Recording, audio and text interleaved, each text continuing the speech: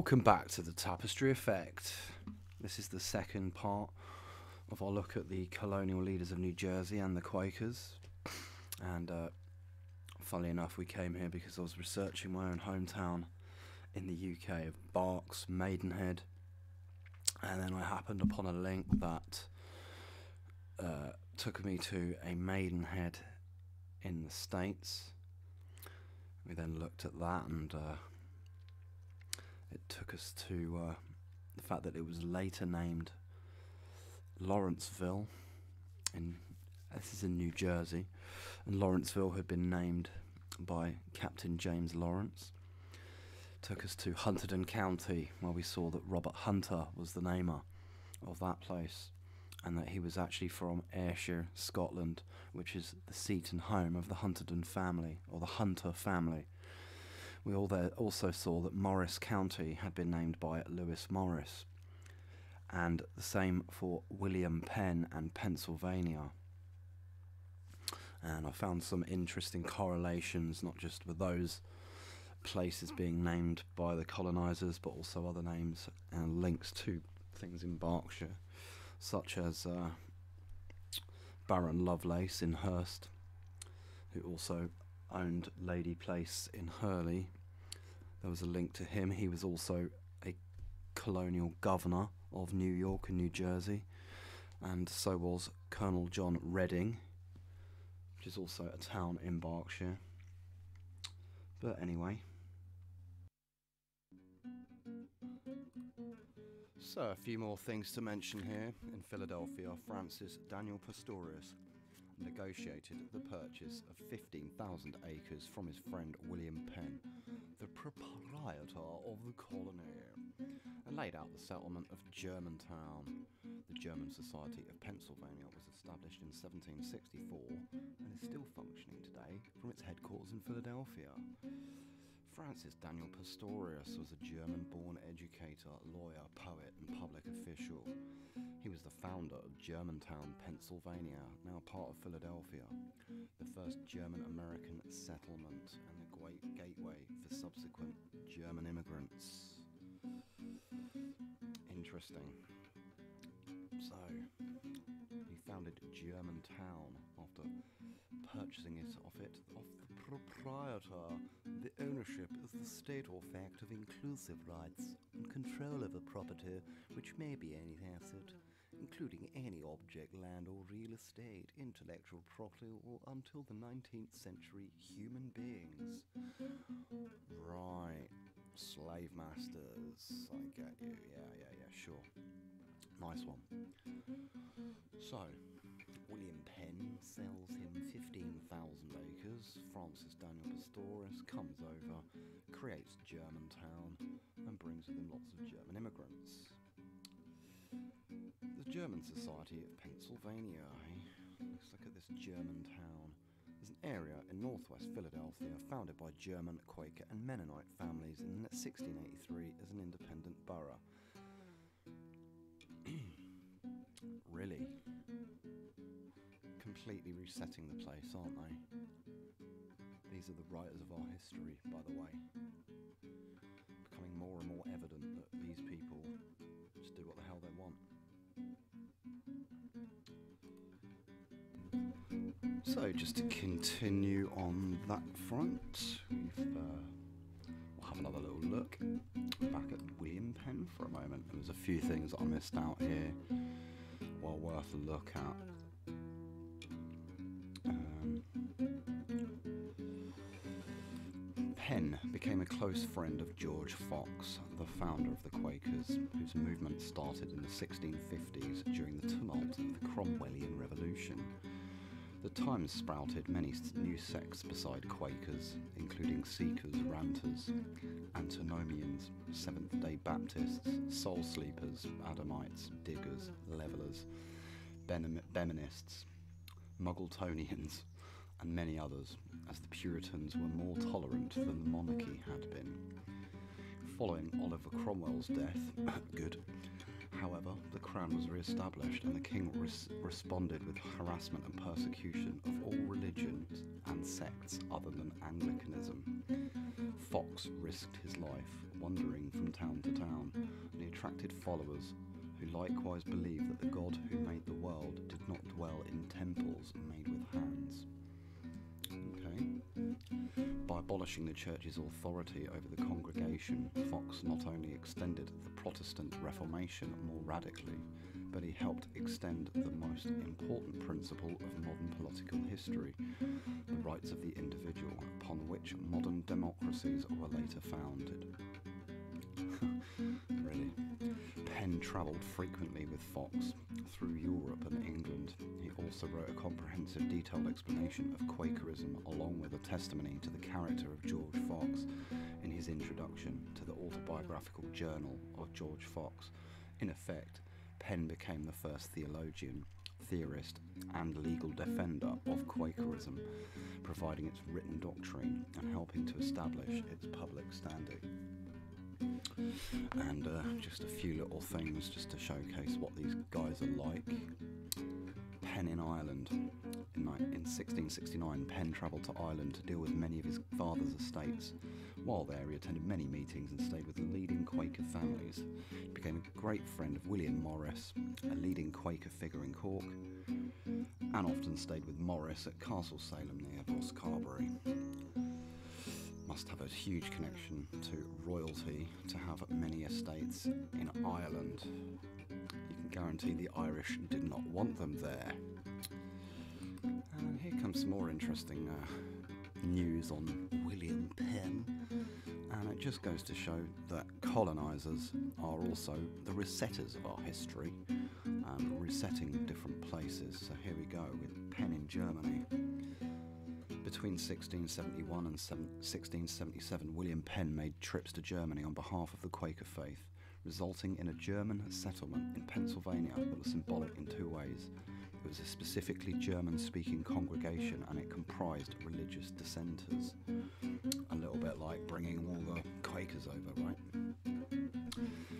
Pennsylvania has remained the heartland for various branches of Anabaptists, being Old Order Mennonites, Ephrata Cloister, Brethren, and Amish. Pennsylvania also became home for many Lutheran refugees from Catholic provinces, including Salzburg of Austria, as well as for German Catholics who had been discriminated against in their home country.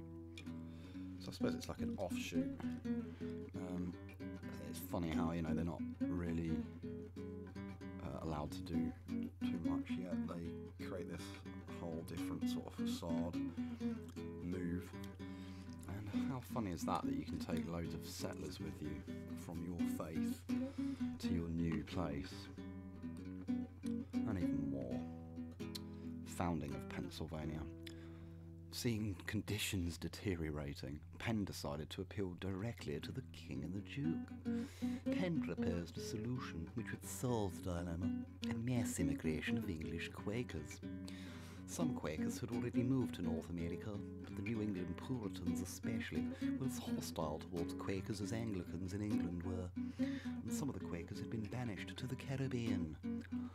What a shame for everyone else, anyway. In 1677, a group of prominent Quakers that included Penn purchased the colonial province of West Jersey. That same year, 200 settlers from the towns of Chorleywood and Rickmansworth in Hertfordshire and other towns in nearby Buckinghamshire arrived and founded the town of Burlington. Oh, really? Reset the whole place. George Fox himself had made a journey to America to verify the potential of further expansion of the early Quaker settlements. In 1682, East Jersey was also purchased by Quakers. So, by 8, 1682, they somehow own the entire place. Absolutely. Really. It's that easy for them, I suppose, eh? Acquired so much wealth when they're going around stealing everything for themselves that they end up just buying the place. Isn't that absolutely fantastic? I hope they're so happy. This is an interesting bit. Penn first called the area New Wales. then Sylvania, which King Charles II changed to Pennsylvania in honour of the elder Penn. On the 4th of March 1681, the King signed the charter and followed, the following day, Penn jubilantly wrote, "It is clear and just thing, and my God, who has given it to me through many difficulties, will I believe bless and make it the seed of a nation." wow. Penn drafted a Charter of Liberties for the settlement, creating a political utopia guaranteeing free and fair trial by jury, freedom of religion, freedom from unjust imprisonment, and free elections. Basically, rewriting the codes and laws for the place. Absolutely unbelievable, incredible guy. Yeah, yeah. William Penn the penultimate challenge. Changed the place completely. Ah, that was another. Ah, I'm going to go back to James Lawrence for a minute. Things I missed here. Didn't really read enough of it. And anyway, like Lawrence was born on October the 1st, 1781, in Burlington, New Jersey, but raised in Woodbury, New Jersey. Son of the son of John and Martha Tallman Lawrence. His mother died when he was an infant, and his loyalist father fled to Canada during the American Revolution, leaving his half sister to care for the infant. Not a very caring father, is he? Funny enough, though, he's loyalist. What's that? Well, loyalists were American colonists who remained loyal to the British Crown during the American Revolutionary War, often referred to as Tories, Royalists, or King's men at the time. Need I say any more? Core blimey. Loyalists, eh? Why don't they remain loyalist to the human race instead? Oh, that was another little thing. Just have a look at with Lawrence. Look at his namesakes and honours. A just shows they got no imagination, just calling everything by his name. I mean, look how many places that they feel that they own suddenly and put their name to. What a disgrace. Unbelievable. They're just taking land for themselves, for the crown.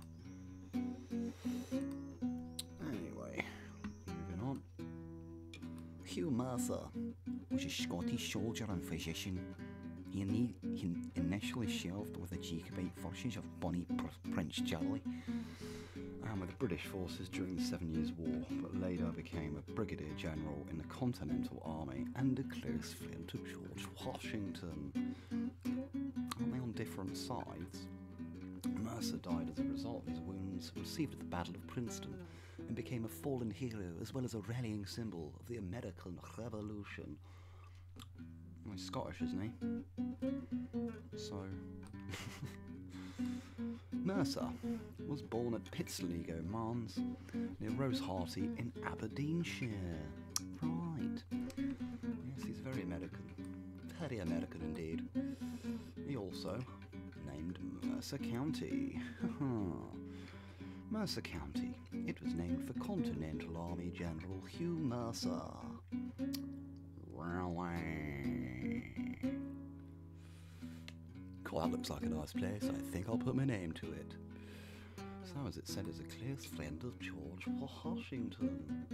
Is that behind the scenes? Oh, we all know who George Washington was, but let's just have a little read up of him for a moment. George Washington was an American political leader, military general, statesman, and founding father who served as the first president of the United States from 1789 to 1797. Previously, he had led patriot forces to victory in the nation's war for independence. That's what you do for independence, is it? Create, create war. no, I don't see fighting as freedom. Do you? Fight for freedom. How does that make sense? Does, does fighting not? Uh, is that not like the opposite of uh, freedom? anyway a father of his country, to his manifold leadership in the formative days of the new nation. Right. Well, let's just for a second just a very split second, have a look at his early life, just to see where he was from, really. The Washington family was a wealthy Virginia family that made its fortune in land speculation. What's that? Speculation is the purchase of an asset with the hope that it will become more valuable in the near future. They're all doing that. Washington's great grandfather, John Washington, immigrated in 1656 from Sulgrave, Northamptonshire, England. Really? I would have never guessed, ever, that there's a link to the UK. They're just a bit too obvious, these guys, aren't they? Who else is involved? Well, we've got here Charles Cornwallis, the first Marquess of Cornwallis. A trusty noble. Cornwallis, styled Vis- Viscount Brome between 1753 and si- 1762 and known as the Earl Cornwallis was a British Army general and official in the United States and the United Kingdom. He's best remembered as one of the leading British generals in the American War of Independence. Let's have a little look at him. What's surrender in 1781 to a combined American and French force at the Siege of Yorktown ended significant hostilities in North America. Really? He later served as a civil and military governor in Ireland. What the hell's he doing there as well? Where he helped bring out about the Act of Union, really, and in India, where he helped enact the Cornwallis Code and the Permanent Settlement. My word. The Acts of Union 1800 were parallel acts of the Parliament of Great Britain and the Parliament of Ireland, which united the Kingdom of Great Britain and the Kingdom of Ireland to create the United Kingdom of Great Britain and Ireland. What a load of absolute bollocks, isn't it? Hmm? Act of Union. Basically, writing into code that you can do what the hell you want. Ireland is not yours. Get out. That's what I'll say. Get the hell out.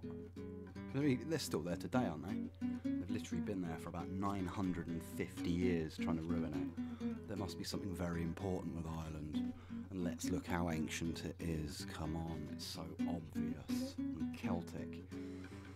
Possibly ancient. Tartaria or something, I'm not quite sure, but there's, there's many reasons why they're there and in India, where he helped enact the Cornwallis Code, is a body of legislation enacted in 19- 1793 by the East India Company to improve the governance of its territories in India. The code was developed under the guidance of Charles Earl Lord Cornwallis, who served as governor of Bengal. Really? Again, just writing into code exactly what the fuck they can do. Disgrace. What's the permanent settlement? Also known as the Permanent Settlement of Bengal, was an agreement between the East India Company and Bengali landlords. And who are the Bengali landlords? I wonder, I wonder, I really, really wonder. Born into an aristocratic family and educated at Eton and Cambridge, Cornwallis joined the army in 1757. Well, I'm not being rude, but if you were properly educated, you'd probably realise that war sucks. Unless you're one of them. Seeing action in the Seven Years' War, upon his father's death in 1762, he became Earl Cornwallis and entered the House of Lords. That's what it takes, is it? To be one of the special lords, the lords of the manor, lords of a nation, of the world, the universe. Right, shut up. From 1766 until 1805, he was a colonel of the 33rd Regiment of Foot. What's that? The 33rd Regiment of kicking the crap out of everybody that's not British? Was a line infantry regiment of the British Army. Really? So, we've got the East India Company, we've got Act of Union, the Cornwallis Code, and the Permanent Settlement of Bengal. Really? I don't like you very much. I'm sure there's. What's this? Despite his defeat, Cornwallis retained the confidence of successive British governments and continued to enjoy an active career. Is that what they call it? I like that, yeah. They should have a list. How many countries have you effed up, Gov? Right. He Was knighted in 1786? He was in that year appointed to be Governor General and Commander in Chief in India. I'm sure the Indians love that. Again, as we noted, India has a lot of, again, ancient history and uh, some very Tartarian things going on there as well. So a lot of uh, a lot of a cover up, and I think that that's one reason these people have become commanding chief of India. There he enacted numerous significant reforms within the East India Company and its territories, including the Cornwallis Code, part of which implemented important land taxation reforms. Oh, Raleigh! Make them pay for where they live, even though you've just come in and stole it. From 1789 to 1792, he led British and Company forces in the Third Anglo-Mysore War to defeat the Mysorean ruler Tipu Sultan. What the hell's that? The conflict in South India between the Kingdom of Mysore and the East India Company. I see what you mean by significant reforms. Yeah, yeah. I think you like might be getting the idea here as well as I read through this, huh? It's just interesting, isn't it? Mm. I think my Wikipedia page might be a bit nicer than this. If they make one, I don't think so. Returning to Britain in 1794, Cornwallis was given the post of Master General of the Ordnance. Yeah, of course he was. What a stunning chap. 1798, he was appointed Lord Lieutenant and Commander in Chief of Ireland. Jesus Christ. Wept was the next verse, where he oversaw the response to the 1798 Irish Rebellion. Well, of course they're going to rebel. They don't like you, they don't want you there. Guess what? Yeah, you're still there now, aren't you? Ghosting around including a French invasion of Ireland, and was instrumental in bringing about the union, the union of Great Britain and Ireland. forced union. Don't you just love forced companionship? Aren't you so in love when you're in a forced companionship? Following his Irish service, Cornwallis was chief British signatory to the 1802 Treaty of Amiens and was reappointed to India in 1805 because he's such a nice guy. He died in India not long after his arrival. Good. Excellent. I'm really pleased about that. Shame Luffy's always scumbag cousins there.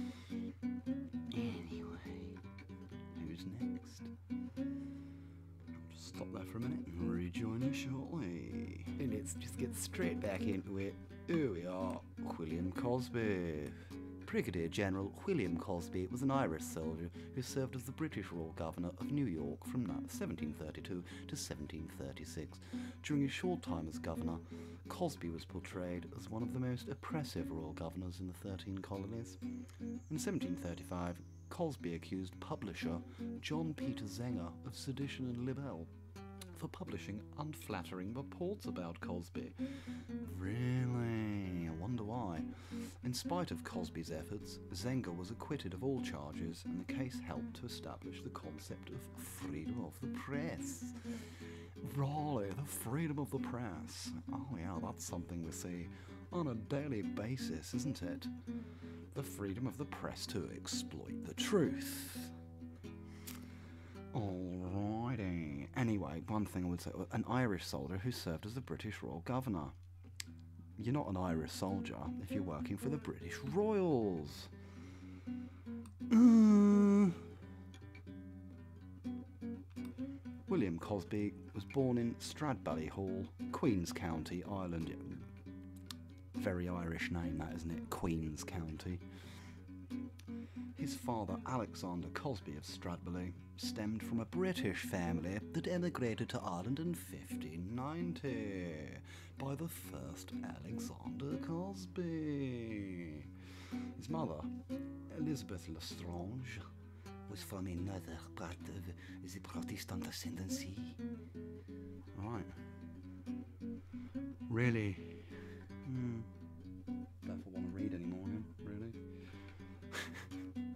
Freedom of the press. Freedom of the press. The principle that communication, expression through various media, including printed and electronic media, especially published material, should be considered a right to be expressed freely. Such freedom implies the absence of interference from an overreaching state. Its preservation may be sought through constitution or other legal protection and security. Is that how they deal with it? Constitution or other legal protection and security of a freedom of the press which isn't really free. Well, it's interesting to note this uh, concept of the freedom of the press.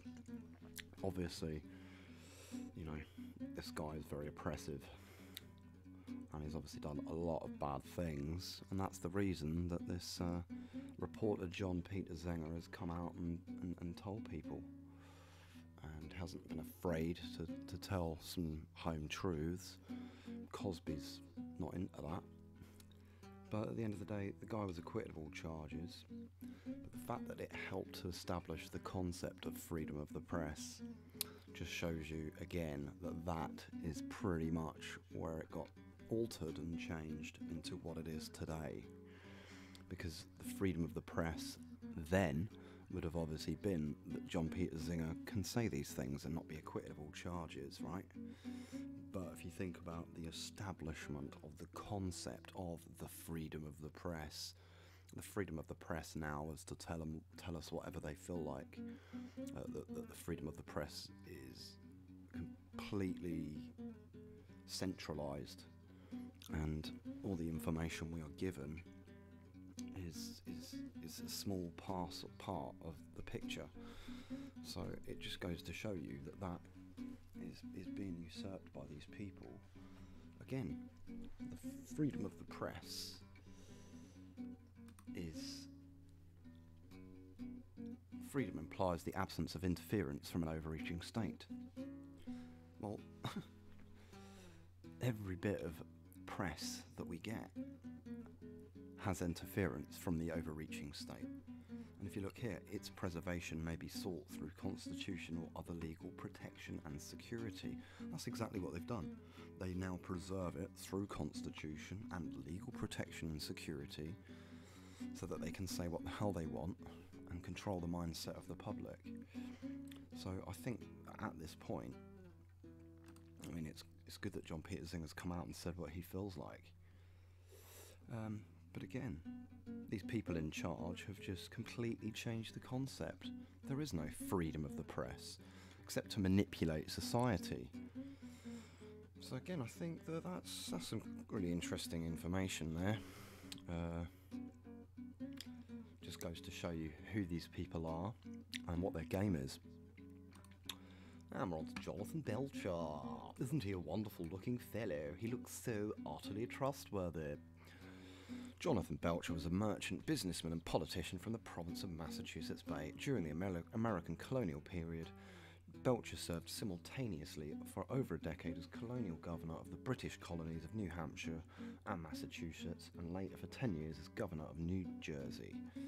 Born into a wealthy Massachusetts merchant family, his father, Andrew Belcher, was a tavern owner in Cambridge, oh really, and grandfather who immigrated to Massachusetts Bay from England. Oh, crikey.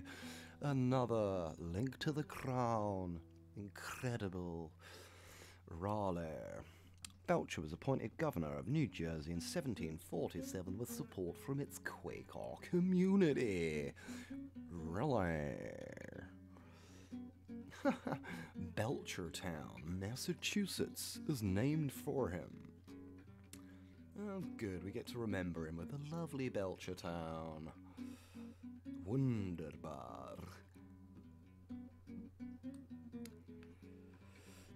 Let's have a little look. Good old Johnny Belcher was born in Cambridge province of Massachusetts Bay. Oh, Cambridge in America. Okay. The fifth of seven children. Blah, blah, blah.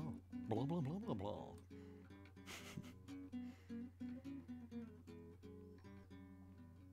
Personal.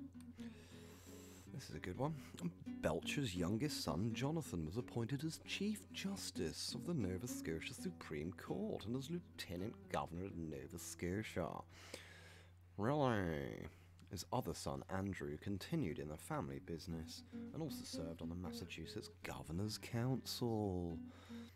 That's why they get away with everything. They create the legal system and put people in place to govern it. Even if they are in the wrong, they can get away with whatever the hell they want at that point, can't they? Really intriguing. Really? Hmm. Again, does his son look. Why are they always pointing down here, eh? You want me to kiss your boots? That Ain't happening.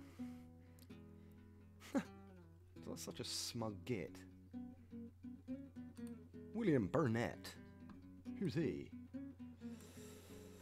Was a British civil servant and colonial administrator who served as governor of New Jersey and New York and Massachusetts and New Hampshire.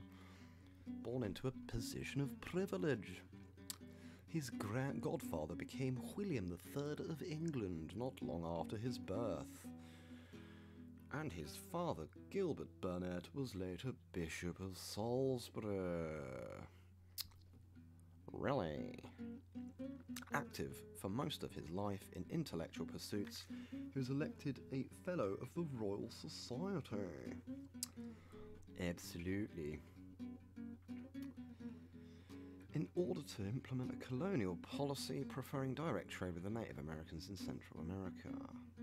New York rule was marked by an increase in political divisions between landowners and merchants, so splitting it all up and dividing it and getting what he wants from the trade.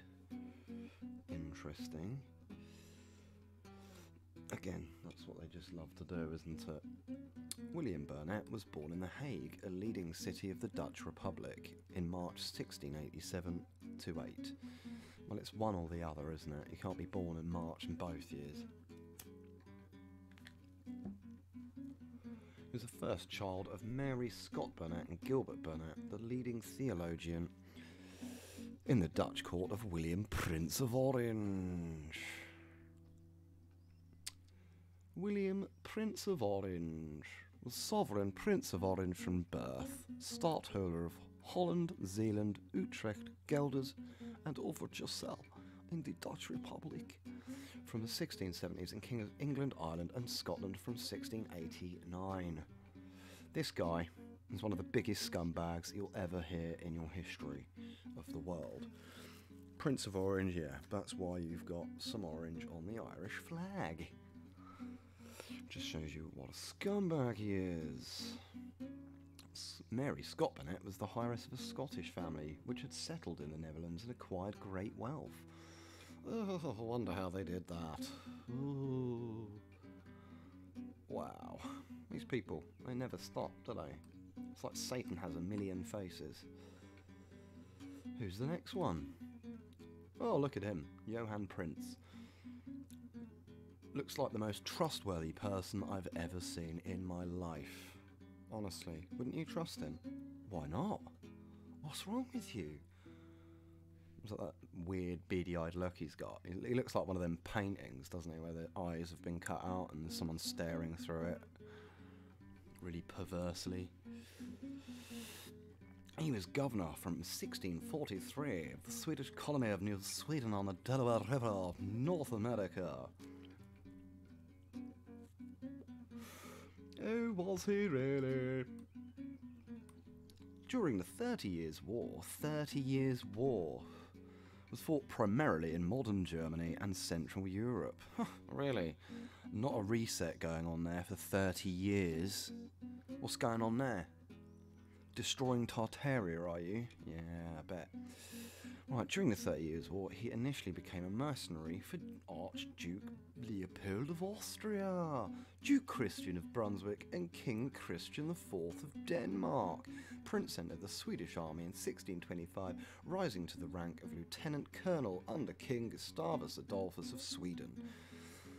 He was dismissed from service for surrendering the Saxon town of Chemnitz. He got one wrong, did he? And uh, out you go. Out you go. Well, you lost that town, did you? Good. Archibald Leopold of Austria was Holy Roman Emperor. Was he really? the story deepens. King of Hungary, Croatia, and Bohemia. Right, okay. Well, we're going to have to look at him, aren't we? I'm going to be researching the Holy Roman Empire, so watch out for that. He'll be involved in that one. That'll be coming within the next month or so. Keep your eyes peeled. Well, I think we'll move on from the most trustworthy looking bloke we've ever seen in our life. Let's see who's next. Someone else really untrustworthy, I suppose. Walter van Twiller was an employee of the Dutch West India Company and the fourth director of New Netherland. He governed from 1632 until 1638, succeeding Peter Minuit, who was recalled by the Dutch West India authorities in Amsterdam for unknown reasons. Really? Walter van Twiller, the Dutch West India Company. Isn't it great? Not really. Anyone ever heard of that company? Let's have a look at them. Oh, no, that's the wrong one. that's the East India Company. They're all related, of course. We'll have a look into them a bit. In fact, we'll do a show on those. and show exactly what they were doing. Because they were going around destroying Tartaria. That's what they were doing. That's one thing I think, anyway. Peter Minuit was from Tournai in present day Belgium, the third director of the Dutch North American colony of New Netherland. He founded the Swedish colony of New Sweden on the Delaware Peninsula in 1638. The bit I really love Minuit is generally credited with orchestrating the purchase of Manhattan Island for the Dutch from the Lenape Native Americans. Manhattan later became the site of the Dutch city of New Amsterdam and the borough of Manhattan of modern day New York City. A common account states that Minuit purchased Manhattan for $24 worth of trinkets. A letter written by Dutch merchant Peter Schaghen to directors of the Dutch East India Company stated that Manhattan was purchased for 60 guilders worth of trade, an amount worth approximately $1,143 in 2020. wow, and how much is a house now? Wow, really? So, Peter Minuit, Peter Minuit was born at Wesel between 1580 and 1585 into a Calvinist family. That had moved from the city of Tournai in the southern Netherlands to Wesel in Germany in order to avoid Spanish Catholic colonials who were not favourably disposed towards Protestants. His surname means midnight in French. Okay. What is a Calvinist family? Well, Calvinism is a major branch of Protestantism that follows a theological tradition and forms of Christian practice set down by John Calvin and other Reformation era theologians.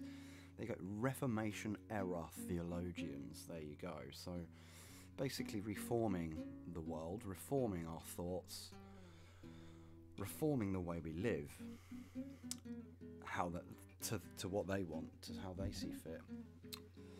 Very intriguing.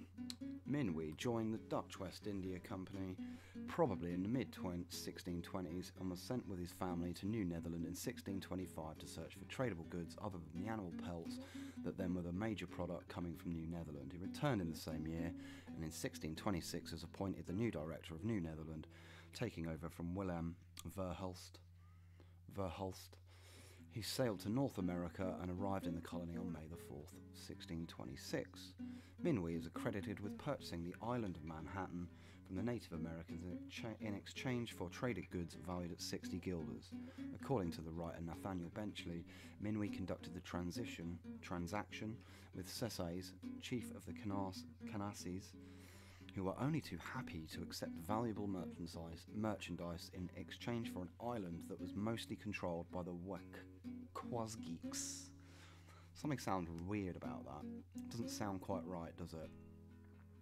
Okay, they might have been neighbouring tribes that didn't like each other, but what, you can just take a bit of money and what, what are they going to do with that? A contemporary purchase of rights in nearby Staten Island, to which Minuit was also party, involved duffel cloth, iron kettles, axe heads, hoes, wampum, drill, drilling awls, Jews' harps, and diverse other wares. If similar trade goods were involved in the Manhattan arrangement, Burrows and William Wallace surmise, then the Dutch were engaged in high end technology transfer, handing over equipment of enormous usefulness in tasks ranging from clearing land to drilling wampum. Well, wampum traditional shell bead. Really? Clearing land, technology transfer. Also called transfer of technology is the process of transferring technology from the personal organization, organization that owns or holds it to another person or organization. These transfers may occur between universities, businesses, governments, blah blah blah. Really? Do you not mean just uh, what you're finding? You, you, you grab what you can find and you've got some really high end technology here. Is this some of the high end technology that you still use today but hide from society? Is this the te- technology transfer, the high end technology that we will find hidden in the ground of the mud flooded Tartarian areas of this world? I bet it is. Very interesting. High end technology transfer. Wow. I'd like to know what the technology was. Very interesting. Peter Minwee. Wee wee. Peter Minwee. East India Company. Well, we're going to look into those on another one, but they're heavily linked to all this and the Reformation, as we've spoke about before, of this realm, as they thieve it for themselves and reset it how they feel fit. Who's next? Peter Stuyvesant. Again, he looks so utterly trustworthy. In Dutch, also Pieter and Petrus Stuyvesant served as the last Dutch Director General of the colony of New Netherland from 1647 until it was ceded provisionally to the English in 1664.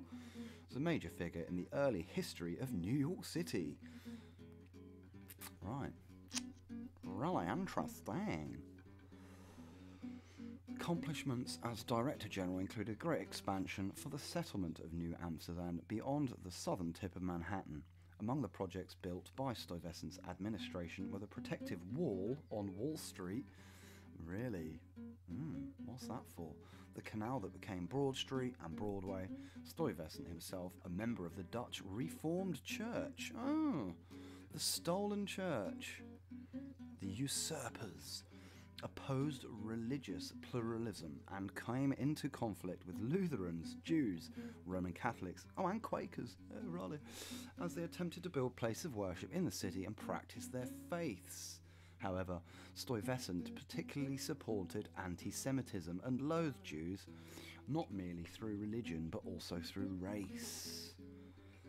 Really? So, you've got a colonial governor who's racist. Very nice. Excellent.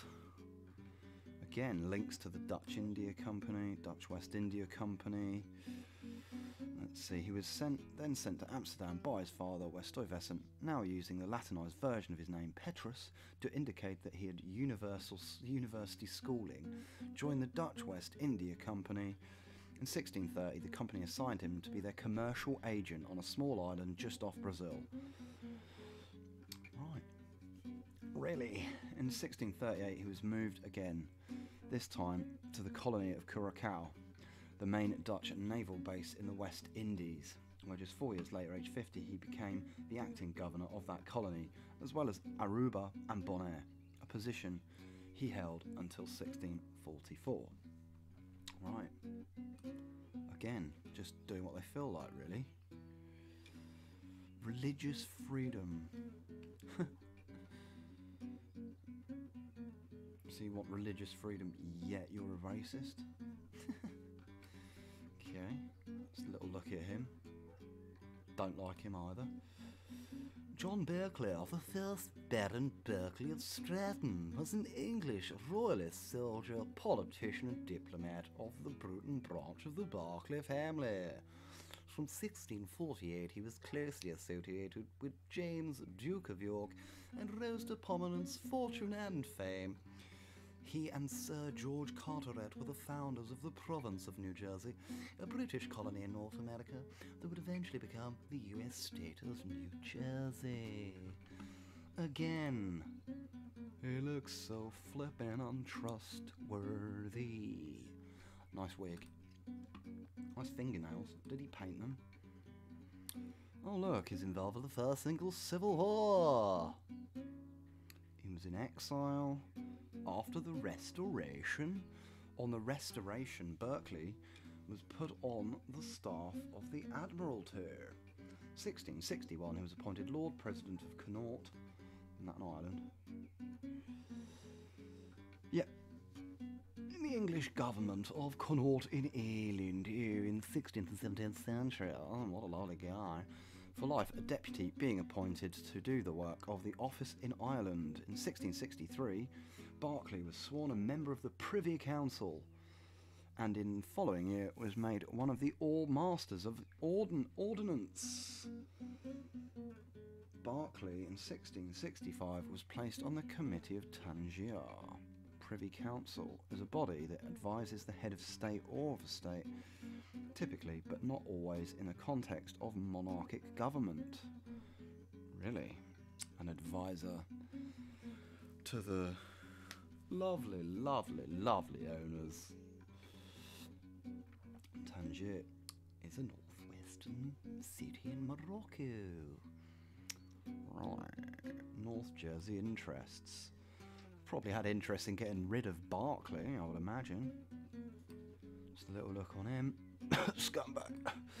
George Carteret, Raleigh, was a royalist statesman in Jersey and England who served in the Clarendon Ministry as Treasurer of the Navy. Was also one of the original Lords Proprietor of former British colony of Carolina and New Jersey, Carteret, New Jersey, as well as Carteret County, New Carolina. Born in North. I've lost me words. He acquired the manor of Haynes in Bedfordshire. Brother, what a lucky man. Well, again, you know what? On these ones, I'm not going to really look that much further. I don't think we really need to to clarify what they're up to. William Franklin was an American born attorney, soldier, politician, and colonial administrator. Really looks very English. Looks very English to me. Early life. Let's see.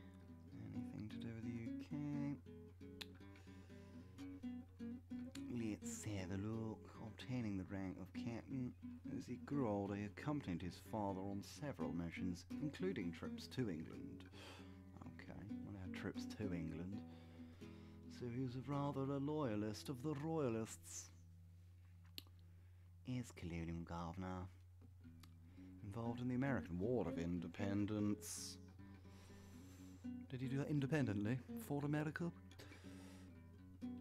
Royal Society. In 1783, visited Scotland, he was asked to be a founding member of the Royal Society of Edinburgh. Even though he's got no links to Scotland. Right. Okay. Franklin. What about Sir William Livingston? An American politician who served as the governor of New Jersey during the American Revolutionary War and was a signer of the United States Constitution. Was he? An American politician? Oh. During the American Revolutionary War? Oh. And a signer of the United States Constitution. Brilliant. Oh. Very intriguing. Oh, look, Yale College. Oh, Raleigh. Livingston was born in Albany, in the province of New York. He was the son of Philip Livingston. Was he? Let's have a look at him. Philip Livingston, I bet he's a lot nicer. The son of Robert Livingston the Elder, and elder brother of Robert Livingston, again, like they like to confuse you with the same name, of Clermont.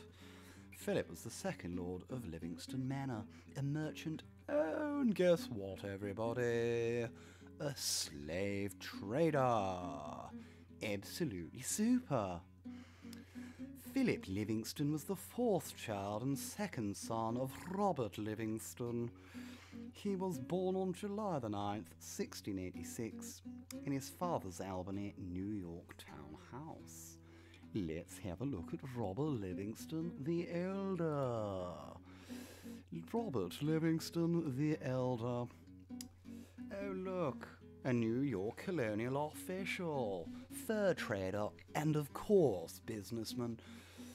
He was granted a patent to 160,000 acres along the Hudson River and became the first Lord of Livingston Manor. Sorry, he was granted a patent. Right, sorry, did he design the place, did he?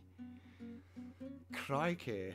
And look, again, he's pointing at his feet. You must kiss me on my feet, you scumbag slave. Get down and lick my bottom. It's rather cold. Really? Let's have a look. I love his coat of arms. Very, very nice. He was born in 1654 in the village of Ancrum, near Jedburgh, in the county of Roxburgh, Scotland. Really? That's great. So basically, he's not American. His family are not even American, really. Well, they're born there later, but actually, there's a link to the Scottish. Obviously, at that point, a part of the British Crown. Absolutely. Kiss my feet, fatty monster. John Lawrence, the first Baron Lawrence. By between 1858 and 1869, was an English born Ulsterman. Oh, really? My favourite hand, the Red Hand of Ulster, became a prominent British imperial statesman who served as a viceroy of India. Oh, another Tartarian country you're ruining. Oh, how we love the Lords. Really, mate, an Ulsterman. English born, of course.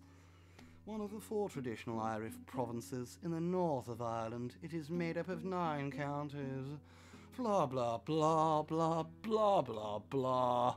You've changed the history of the entire country. yeah, passage to India. Oh, how sweet.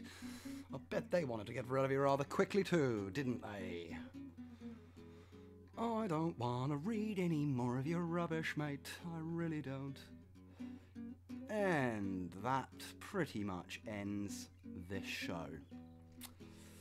Let's just have a quick look at some of the images we've already seen, just to round off. Let's have a look. Oh, that's not a very good picture to start with, is it? Bit small. Ich will water ventriller. Oh my god, shine me the picture. We must shine the agreement so we can ruin these peoples. Gonna whack you on the head with my stick. You dick. But I've got a nice flowery platen, haven't we? Oh yes, of course. The drawing of the purchase of Manhattan Island. It happened so sweetly. How did they carry that chest all the way up here? To, oh, behold the Indians. Uh, yes. We will give you our land. It is okay. It doesn't belong to us. You've just nicked the line of them again. Hey, I love how they write the stories so nicely. They came along. Yeah, we got loads of stuff for you, Gov, yeah. Oh, you're not getting on with them lot. I tell you what, you move on with all our stuff, and we'll have it. Yeah, sure. Oh, an old map from 1650. Als je nu Nederland and New England and Virginia. New Belgium. Really?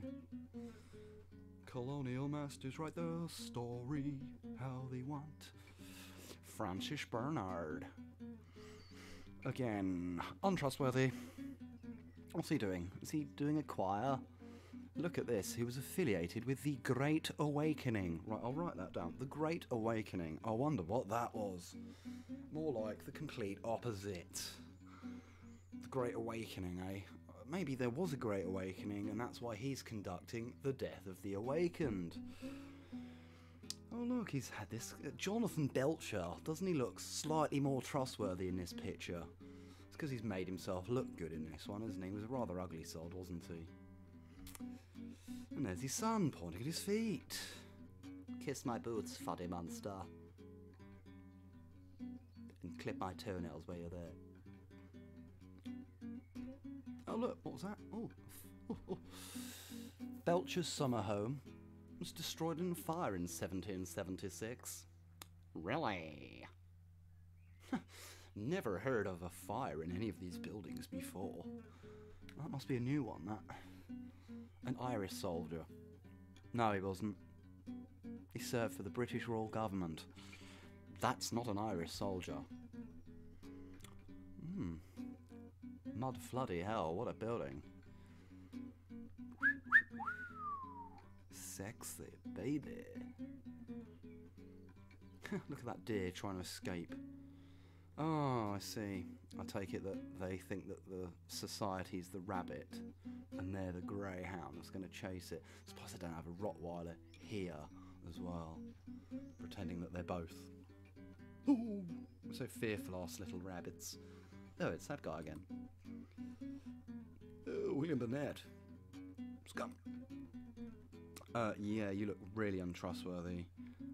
Paedophile. You've got a look of a paedophile there, haven't you? Mm, Jonathan Belcher. What a lovely guy. Not. And here's the painting. I think that actually he's still alive and he's behind the painting, looking through the eye holes. Weirdo. Very untrustworthy looking. And him. Weirdo. Inbred. No, you're not Irish either, Cosby. Get out. No, don't like you. Oh, nice fur. Oh, I like that. Robert Hunter. Oh, yes, of course. Robert Hunter of Hunterdon. uh, From Ayrshire in Scotland. Later governor in America. And of course, I'm sure the Jamaicans are really happy when he was the governor there. Nice fur coat. Kiss my feet. No thanks. Scumbag.